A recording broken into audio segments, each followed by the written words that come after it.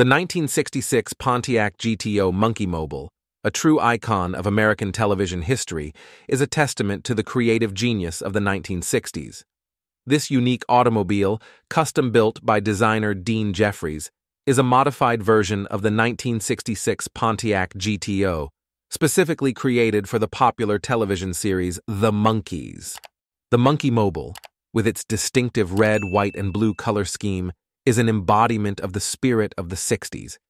It features a sleek, futuristic design that perfectly complements the playful and energetic vibe of The Monkees.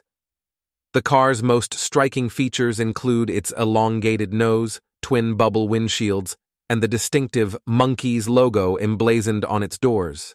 Underneath its custom bodywork, the Monkeemobile retains the powerful heart of a Pontiac GTO. It's equipped with a 389 cubic inch V8 engine capable of delivering a robust 335 horsepower. This powerhouse of an engine, combined with a four speed manual transmission, allows the Monkeemobile to offer an exhilarating driving experience.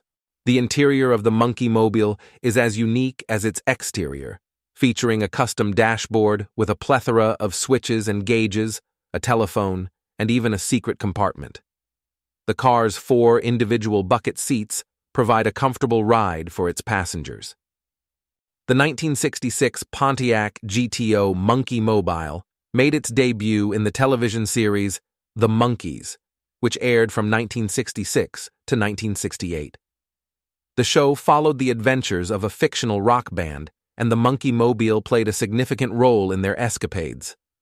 The car's iconic design and association with the popular series helped cement its status as a beloved piece of American pop culture.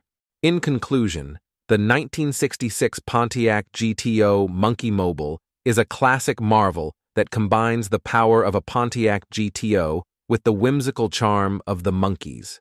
It's a timeless piece of automotive history that continues to inspire and delight, even after more than five decades. Its appearance in The Monkees television series has ensured its enduring legacy as a symbol of the creativity and innovation of the 1960s.